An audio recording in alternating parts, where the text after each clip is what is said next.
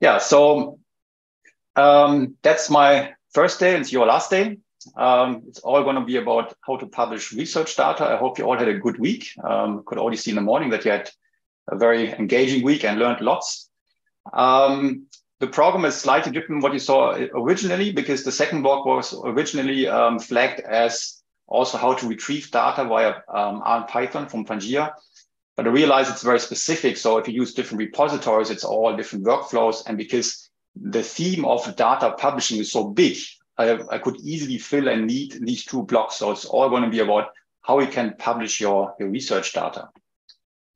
Um, I'm also going to have uh, a colleague of mine in the back, Lars. I'm not sure if he's already in the, I hope so, can't see him. Um, he's gonna, he's an, a bigger expert than I am because I just joined in uh, April this year. So I'm a data curator since uh, April 2022. Um, and Lars uh, will also help me out in terms of questions. Um, if you have very specific questions, he's also going to back me up. Yeah, so that's going to be the, so let's start with the first block. Um, just uh, general into like general information, not sure what you agreed on in the past days. I like to have, uh, or would be best if you have a microphones turned off, which you already have, um, until unless you want to you want to talk or you want to say something. Uh, but please keep your cameras on. It's nice to have some visual feedback, um, not just seeing myself. Um, if you want to, it's not a must, but would be would be great. Um, if you have any questions, I would prefer to actually, if you could post it on a Jamboard, um, because if there are, if there's a long chat, it's just a bit hard to follow up which questions are, are still relevant. So I prepared a Jamboard, which I post in the chat. So have a look and it's basically just going to look like this. I'm not sure if you already worked with a Jamboard before, you can just um, have a note and say something and then just uh, post it and then it's here. So we have like a nice collection of questions and after the block, we basically have a question and answer session where we can just respond to that. Or if someone else in the group has already an answer, post it there as well. That's fine. Yeah, and it was maybe already mentioned that the slides are going to be available on Zenodo, right, Daniel? So um, you don't need to take screenshots all the time or take notes.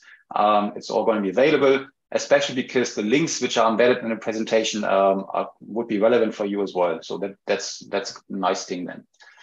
Um, so expectations, I strongly believe in learning by doing. So there's a nice, opponent, a nice quote um, from apparently from Confucius.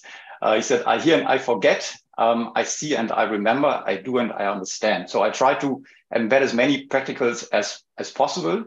Um, because first of all, not because I'm also just lazy in terms of talking too much. Um, I think it's also just more fun to do something instead of just um, sitting in front of a screen.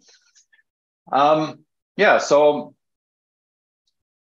then just showing you, giving a short overview about the, the first session in the morning today. So introduction, which we just write in. Uh, then a short quiz why we should publish data. We're just want to get some um, feedback from you.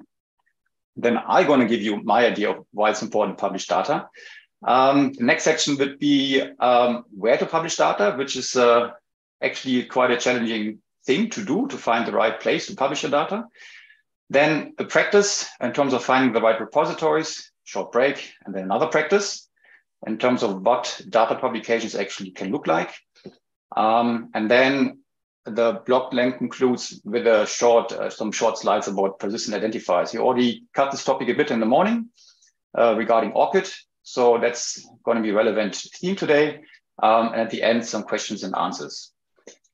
Um, the second block today from 1040 to 12, it's going to be how we publish data, uh, which uh, is accompanied by some practice uh, about repository requirements, then um, an overview about data structures or proper data structures and um, some ways how we can improve our data quality with uh, data collection methods.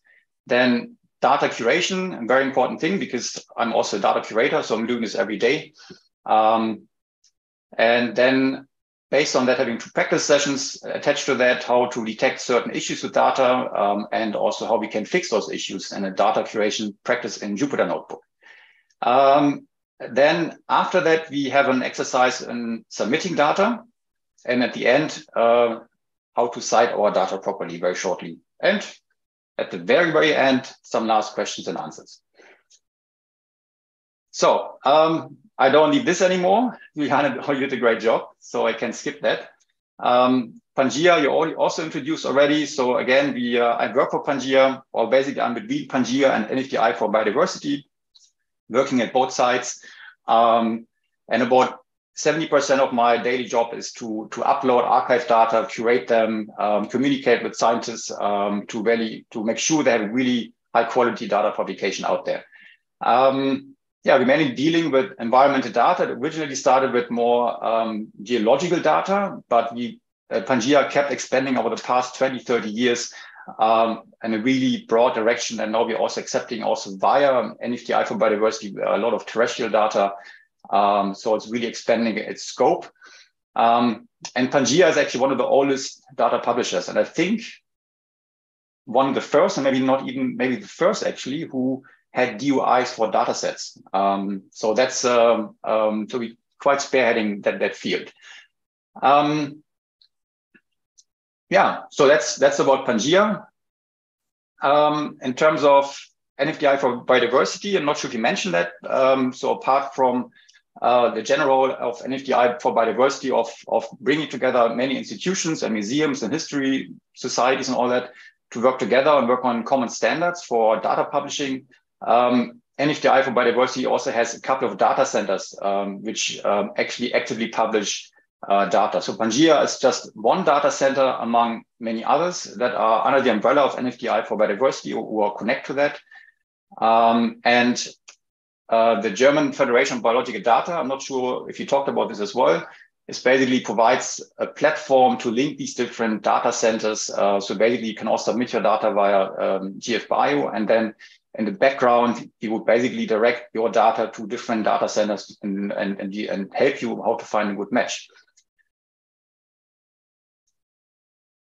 So the learning goals for today would be, so after the session today, the two sessions today, you should know why it's important to share and publish research data.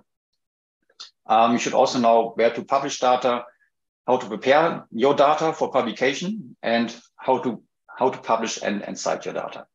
So that's at the end of the day what we want to do. So publishing data has benefits at different levels. So it has has benefits at a societal level, benefits for the research community, and also particularly for you as a researcher. Uh, and it's it's basically addressing a lot of different aspects, um, as you already mentioned, like you know this um, makes research transparent and um, it's tax tax money, so we also have, have an obligation to do that and uh, making our work more visible and all these kind of things. So I will start at the um, in more detail about the societal level. So why is it important to publish data for society? Um, so First of all, it benefits the public purse. It's, it's basically saving money uh, because we reduce the, the repeat work for of research. If you don't know what has been already done, um, we can we potentially do research which was already performed in the past. So that's that's a waste of effort, of course. Um, furthermore, then open data can play a role in guiding governmental policy. So um, can be at different levels, for instance, in terms of biodiversity data that we uh, need to know, okay, when we, when we, as Daniel already said, we want to have a marine protected reserve. So we need to have these data available to define if you need a reserve and where to, where to draw the boundaries for that reserve. So it's very, very important, of course. And um, furthermore, it also improves the access to research um, data for people outside academia. So we not only think within research, so we also want the data to be accessible to the public, to citizen scientists to um, NGOs, um, anyone who has an interest in those data. And um, we want to make it accessible without paywalls, without needing to be a scientist. So that's also very important. Um, and furthermore, as we, as you already mentioned, it increases transparency and accessibility, especially in times of fake news and a lot of mistrust against science. We really need that transparency um, and uh, to regain trust in science in a way. Um, so to, to really counter that, that increasing mistrust. Uh, so that's why this is very important to not only publish a paper, but also be transparent about everything which happened before the paper. Then I have to keep moving the window, sorry.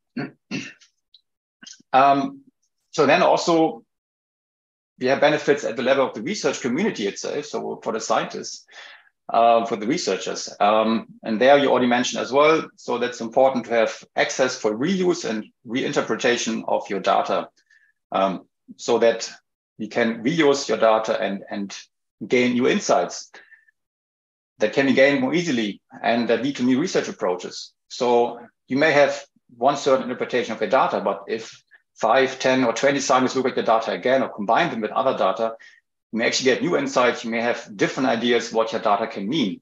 Uh, and that's why it's important to also make your data available, not only the results of, of your data. Um, and at the same time, it also empowers the scientific community to replicate your experiments. Um, it's particularly common and relevant for, for medical research, especially we really want to know is a certain medicine, a certain vaccine um, really working and replicate the experiments, um, because that basically also means there can be lives at stake. So we need to be sure that uh, what we find is really true and replicate those experiments. Then furthermore, it also avoids duplication of scientific experiments. So again, relating to the, the point before that we do want to avoid um, rep, not replicating, but redoing the same thing um, without a good justification. Um, also, it saves researchers from additional expenses and time. Uh, I would say time is probably the more valuable part here um, by allowing them to use your data. And, and furthermore, it also improves robustness and reproducibility and correctness of your results as well, because again, it can be verified by other scientists, by peers. Then the level of the researcher. So like, why is it important for you? Why is it important for us uh, to publish the data? So there has been studies that actually show that if you publish your data along with your research paper, that you actually attract more citations. Um, and they can be up to 25%. So it's quite significant. And it's simply because the reason um, it, um, people can reuse your researchers can reuse your data. It also enhances your visibility and discoverability in the scientific community because you also have because you have a higher number of publications. You also um, get more hits when people look up for your research and research domain. Um, and furthermore, then sorry, there are also services uh, like the Data Citation Index or Scholix that uh, promote the cross-referencing of data publications to research articles. Um, so basically, there's a cross link between your research publication as well as your data publication by these services. So it's an automatic linking. And that can also boost your, your impact profiles because it just um, increases your visibility in the web. Then you will also have the benefit of having a greater recognition and reputation within the community, which potentially may lead to lead to new collaborations. Um, and especially because often you have data which you not always end up in a research paper and they just have, have seen so many times they just end up in a drawer and never get published. Um, but if you just publish, so but you can also just publish your data without the paper. Um, and this way you scale up the research output you have and this potentially also uh, showcases research domains you have not been able to publish yet, and which of course increases your um, your visibility and attracts more collaborations. Um, it also expands your audience, increase the chance of cross-disciplinary interest and citations. So that said, is also not only within the scientific community, also potentially with um, outside science, you can collaborate um, and, and work cross-sectional. Um, also, if you're interested in citizen science, you also build these bridges by having open data.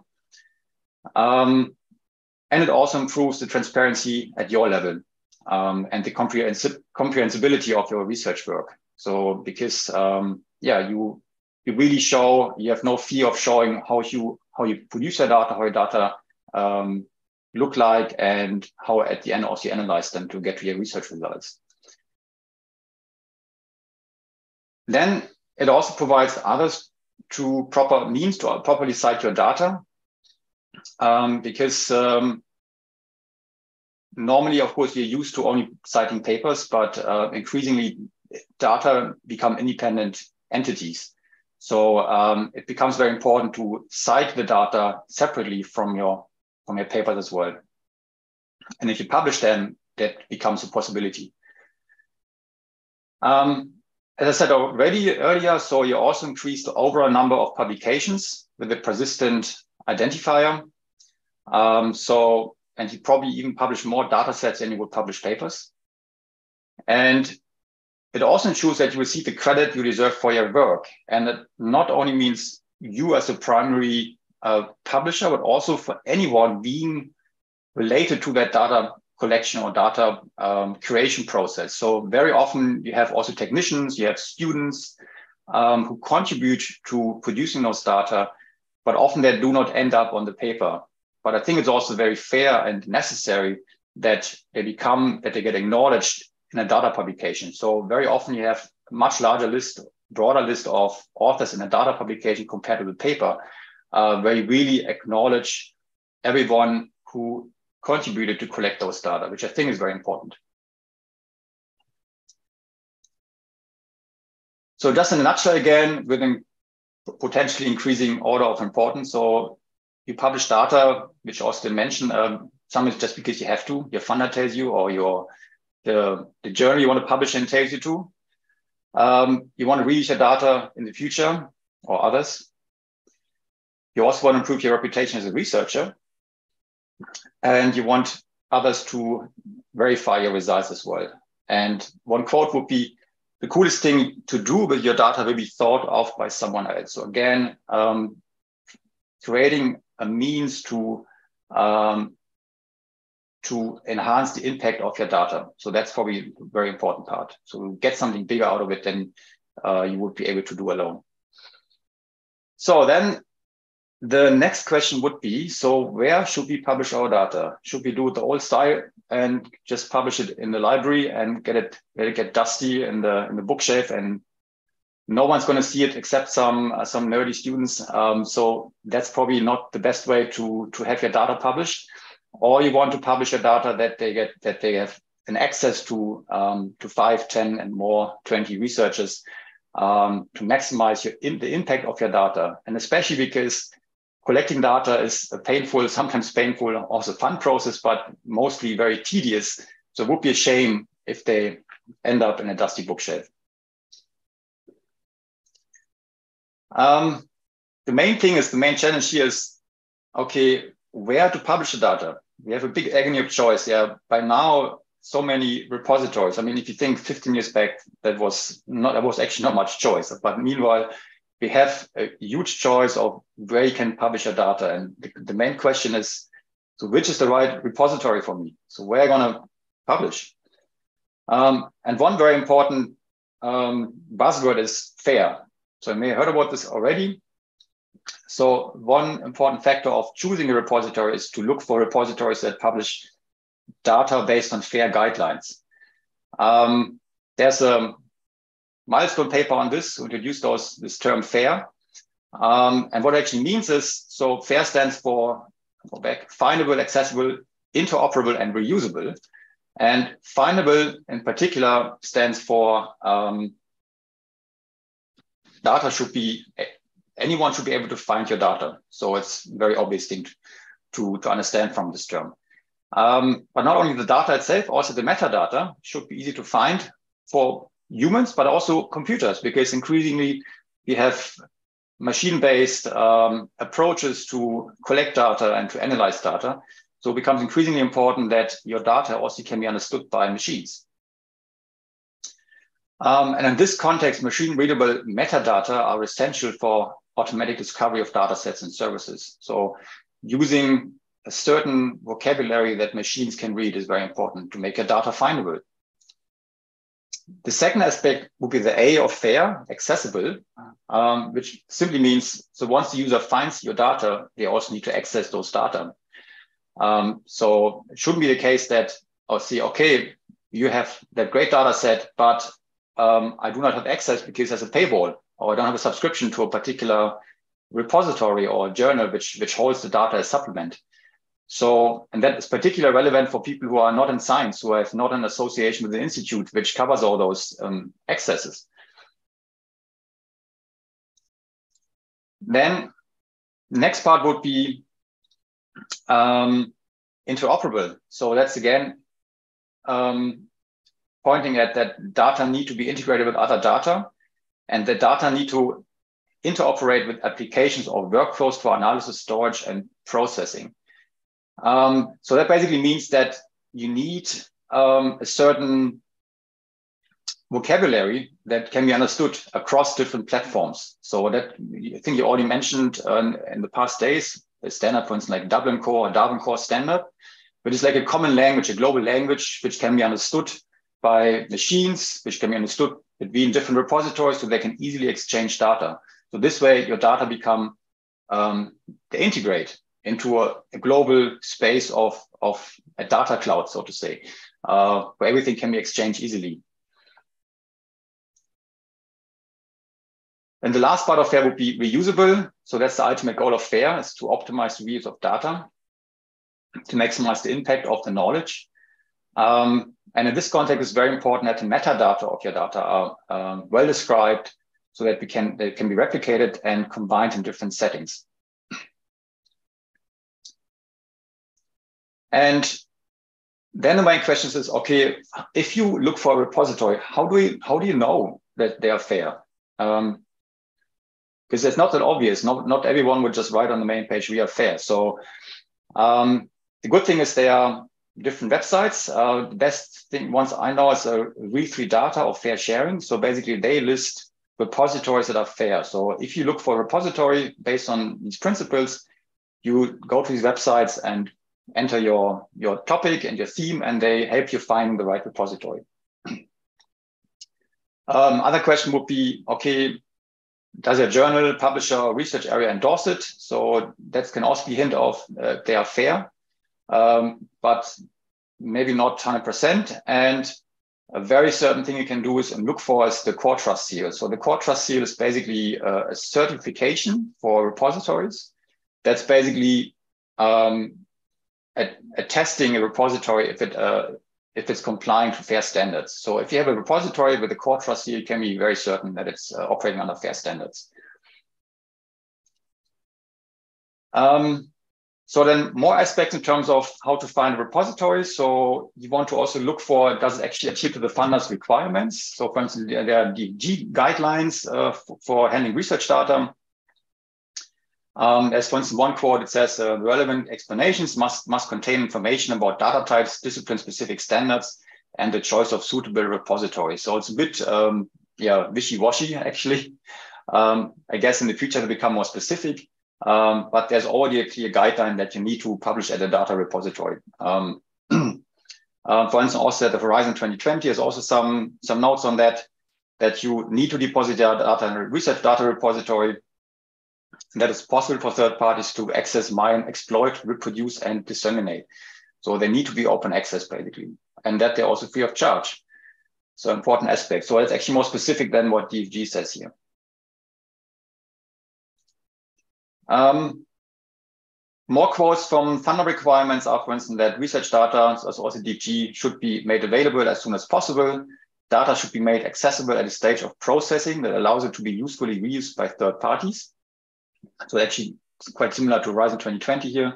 Um, ensure that access to the data is still guaranteed um, when research data are transferred to a third party and long-term archiving, which is also a very important aspect. So you need to know um, if uh, the repository provides an infrastructure that uh, can guarantee you that the data are stored for more than 10 years because you don't want your data to be to expire because the repository is going bankrupt or it's just they close the server. So that's another important aspect you want to consider. Um, the other part would be very fundamental. So it doesn't actually accept my data because you produce a lot of different types of data. Um, and we need to know, do they accept those data? So we need to check uh, what the repository actually accepts. Um, some are more stricter than others um, in terms of, so there are general repositories that accept almost anything, and some are more strict in terms of the scope and the data types. Um, sometimes you want to see, does it provide the functionality you want to have for your data in terms of the display, in terms of the interactions you can have? Um, can it handle the size? So sometimes you have video data, audio data that can be 100 gigabyte and more. Um, and that then pretty quickly actually hit a limit there for many repositories that actually just strictly say we do not accept more than five gigabyte or um, 10 gigabyte or some, or even so, some they do not accept more than 100 megabyte. Um, and furthermore, also can it handle the structure of your data set? So the way you actually structured your data, it may not always fit. Um, there's some uh, some examples. For instance, GBIF, they have some um, some certain requirements here how they uh, want your data. And they have different types of data you can submit. For instance, you have checklist data, you have occurrence data, you also have sampling event data. And along with it, they also require you to provide a couple of metadata, which you need to provide when you submit. Um, and they, for instance, they, they like to see tab or comma delimited uh, text files um, and also in a certain encoding style, which is also important, which is often not uh, recognized when you submit. Um, yeah, another thing as well, you want to see does it does the repository have an impact and is it visible to the research community or to the to your target community? So is it popular and well known? Do we users normally use this database? So it's going to be probably your peers in your field, and you often they have um, favorite databases where they get the data from. So you probably want to make sure that you publish your data in this specific um, database to just reach your target audience. Um, and maybe also does it integrate well with common tools? So if you're a community that basically automatically retrieves data via R or Python or whatever, um, do they also have an integration of such tools, for instance? Um, furthermore, it's also about does it support the relevant metadata? Um, because metadata help you uh, help your help your data to be easily found. Um, and some discipline specific repositories have some very specific features that really add value to your data set. So there are repositories that are very simple. They basically just show me the title and abstract and just link or download link to your data set. And some have just more functionality. For instance, PANGAEA, we have like, like, like for instance, we show your data uh, collection points on a map. Um, and you can also um, get, for instance, when you click on an author, you can get more information about ORCID and your uh, emails and, and linking your projects to European project funding and all that. So there's a lot of interaction in it. So it really depends on what you want to have. Um, and again, to the point, um, how long are the data available? So how reliable is the long-term um, storage of your data? And for this, you have to see how is the repository managed? Is it managed by a private company, by society, an institution, or even the government? Um, that gives you some idea how, how long it may be, how stable the funding may be for that repository, because data storage is, is, is an expensive, expensive thing to do. Um, yeah, and especially if it has a long-term access for more than 10 years. And that's also a criterion which is um, checked by the CoreTrustSeal. The next part would be, is it accessible? So again, mentioned in the FAIR principles. Um, so that's more in terms of also the public access to open access licenses. Um, so again, then logins required or paywalls. Does it support the open, uh, the common or like the uh, Creative Commons licenses, for instance? Um, or does it charge you something for uploading the data? So not all the repositories are for free. Some actually charge you money for it. So again, lot of criteria to check. Um, you can often feel uh, that's the way it felt to me, that I'm a bit lost in repositories um, because I just didn't know. But with some examples and some factors you should look out for to, to select a repository. Um, and again, there are these lists of websites, um, which I also mentioned two of them beforehand, but you can also check OpenDOAR. And sometimes uh, there's also one link for to Nature, which also lists a couple of repositories, uh, which are a good way to start to find the, the right repository. So now we come to the first practice. I think I talked quite a bit already. Um, so in this exercise, we want to find uh, a repository based on these different criteria. So in this exercise, uh, we have breakout groups. Um, I think we just allocate, would be then four people in each group, I guess, um, allocated randomly. Um, and then we go to the data repository table. So I'm just going to post a link in the chat as well. So I prepared a, a Google sheet here with different, you can see the sheet, right? Okay. Uh, we just um, look, okay, what's my group number? And then you just specifically go to the corresponding repositories. So group one would deal with GBIF and group two with Figshare and so on. And they just paste in the URL and um, look out for, okay, in the about section, what's the research domain, the field.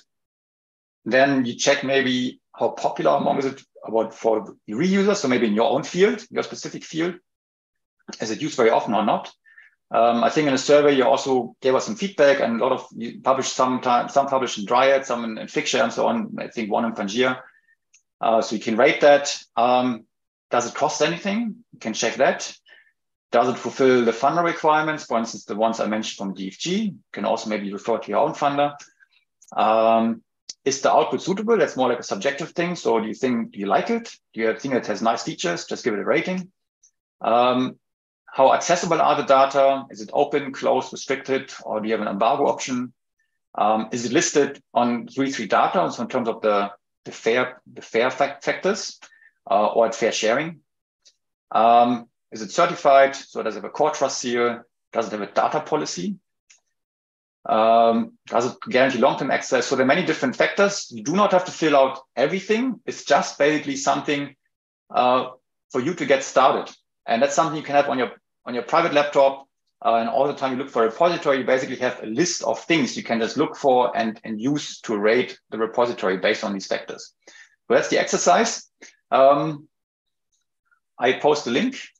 One second. You let me know if you can access it. Should be the sharing one, hopefully.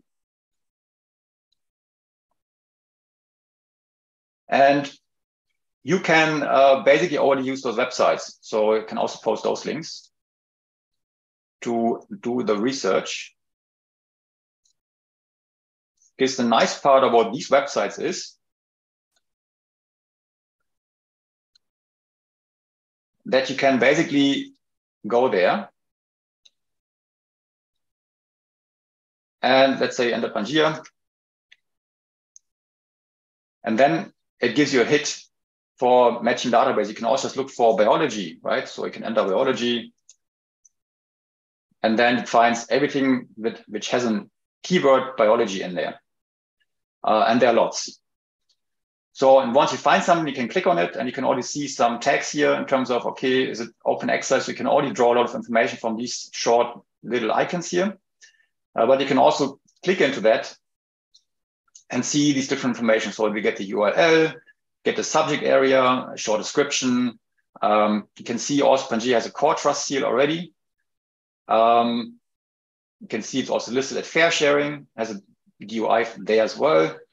Um, then you get a lot more details uh, which are relevant for you. So it's a really easy way for you to, to find out information about those databases. The next exercise would be that we now um, have a look at the actual data publication of the different repositories. Uh, so you basically gonna have breakout groups again, and we will look at different ways the data publications can look like. So we have a, I prepared a little uh, Google slide presentation. We have again our groups. Um, and then each group has, again, a particular repository. And there you have a title linked to a data set. So not just to the repository, but a particular data set. So you can click on the title. Um, I just share the link. One second.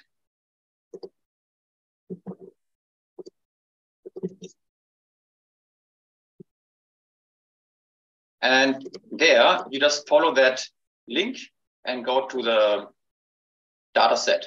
And then you can basically see data set.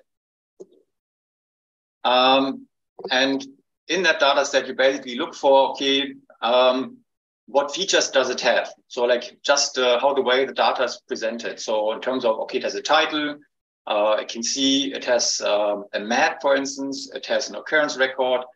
Um, then for instance, um, yeah, does it have certain metadata you find interesting? Uh, here, for instance, has it shows a license and all these kind of things. So just check generally what features the data set has, and then each group does it for their own data set. So for instance, then um, Donald Dryad would have a different,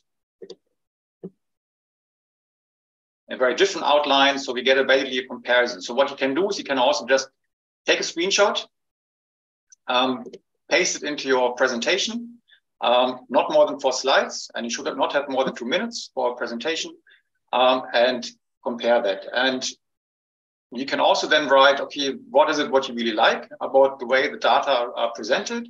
And what do you think is maybe missing? Maybe something you would really like to see, but it's not there. Um, and you have about, um, so the instructions on the first slide, about um, uh, 10 minute time to prepare in a group. And after that, we just meet back in the main room. And then the five groups have each two minute presentations, just very shortly, easy, um, and to get a comparison for everyone how these different um, data publications can look across these different repositories. Yeah, so um, the last few slides are going to be about persistent identifiers, what they actually are. Um, so what are persistent identifiers? You already talked about this in the morning. So they're unique identifiers like your number on the passport. Um, and they're good because uh, they're permanently linked to all related information. So your metadata. So on a passport, you can use that ID and you know what's your first name, what's your last name, where you're born, and so on. So it's very useful just having this one single code to get all the additional information for any record. Um, important is also that PIDs are, so persistent identifiers are created and maintained by central agencies that guarantee the persistence and importantly, the uniqueness of each ID. Um, so that your tax office, um, your the city council, that they all make sure they are stored for long term and that is only one record connected to each ID. Um, important is also that they're machine readable in terms of the research context. Uh, they can use, be used by external services or, for instance, big data harvesting. Um, and one good thing is also that PID support all aspects of fair data. so persistent identifiers in science, we already talked about ORCID to have the unique ID for you as researchers. Um, there are also many other PIDs, uh, for instance, for institutions, they are called ROR. Uh, for funders, we have Crossref. For samples, for instance, um, an IGSN number. Um, WoRMS ITIS, I think you talked about already in this in this winter school for organisms. So like for WoRMS, an um, Aphia ID, for ITIS, a TSN number. Um, and of course, publications, they also have their own DOIs. Um, the benefit is you can automatically link the different scientific outputs um, in a sort of an ecosystem. So you can link the author to all the different papers. You can link the author to the institution where they're affiliated to, uh, to the funders, and so on. So it becomes very handy to automatically connect all these different entities with a PID. Just to give an example, so for PANGAEA, for instance, they can actually um, go there. We have already said we have a PID here hidden there. So you can have an ORCID and you click on it and you end up on the ORCID page of that author. And then you get all these different information, all the papers linked to that author. So it's a very handy thing, but just linking, linking this in your data publication record. Um, another example could be, okay, here we have, for instance, funding information, and here we have um, funding ID. So you can click on that. And for instance, you get directed to a CORDIS website for the European Commission. Um, and that load, that site would load, it would be handy. Um, yeah, and there you have a landing page where you have um, the description of a certain of this project um, and all other information. Interesting part here, for instance, would be, um, for instance, under results, that you have also um, the publications listed, which are listed here, which all relate to the to the to the project, for instance, and um, for instance, also here the data sets. For instance, you click here uh, on the data sets are hosted by OpenAIRE. So basically looks for data sets that are related to the project, which basically have this particular ID number, and automatically lists all these publications. So you can see all these data, uh, data publications are linked to this project. So without the PID, this would not be possible. So you can see it gets interlinked and your data become uh, correspond to the FAIR principles, become fair, and they actually gain visibility because they're interlinked to so many different websites. You get better hits and you really increase the impact of your data publication by just having all these different kind of linking opportunities via PIDs. Very handy. So just as a glimpse again, the snapshot of what I just said. Um, just one last survey. Um, do we have an ORCID ID? Cool. That's great. So the majority, a large majority has an ORCID ID. That's great.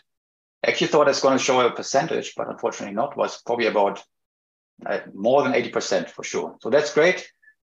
The people who have no here, use the time to create an ORCID, use the break to create an ORCID. and the other ones you have, maybe it's also some good um, opportunity to also check your record. Everything's up to date. If your affiliation is still up to date and your publications. So yeah, very important. Um, and good thing to have for your next startup publication.